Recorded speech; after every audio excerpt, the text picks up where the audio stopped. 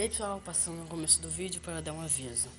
Tô tendo esses, esses muitos aí porque não dá tempo para gravar, então quando não der para gravar tá com tipo observados e survival, tem ter esses por isso que tá tendo bastante. Então espero que vocês gostem e fico por aí e tchau. Do, do, do,